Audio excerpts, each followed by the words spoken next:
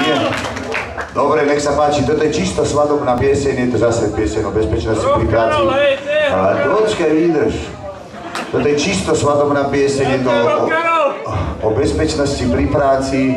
Jak som spomínal, bezpečnosť pri práci je dôležitejšia ako práca samotná a je to o neposlušnej sústružničke, ktorá si nepripela vlasy, keď išla pracovať na sústruhu.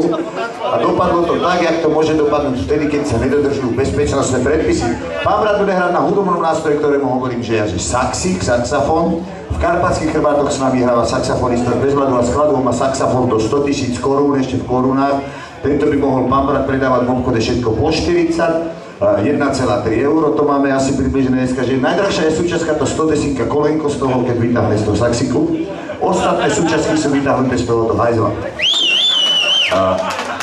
Je to e, ako na hranici brutality ten text, lebo ozaj to môže dopadnúť zle, keď sa nedodržujú bezpečnostné predpisy, dávajte si na to pozor. Vy samozrejme, pán brat si predstaví hudobný nástroj, sa nech sa páči, pán brat.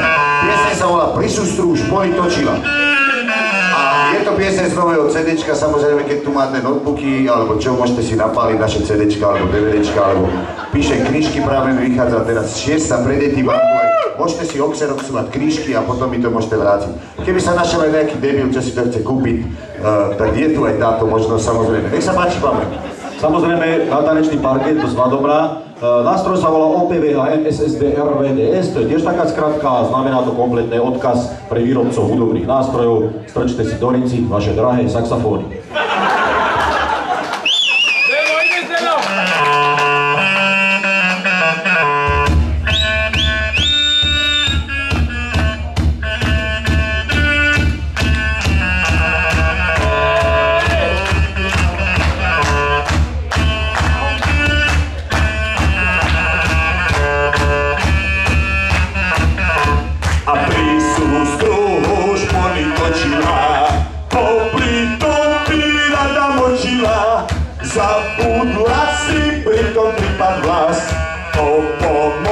Pomoc kričala na, na nás. Zabudla si, pritom pripadla o pomoc kričala na, na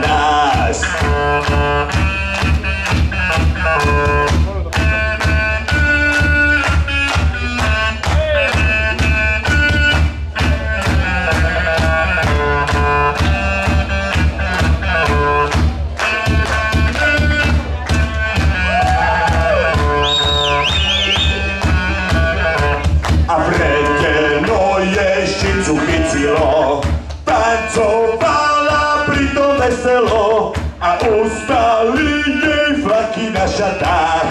Z roboty už išla plešatá. Ustali jej flaky na šatách. Z roboty už išla plešatá.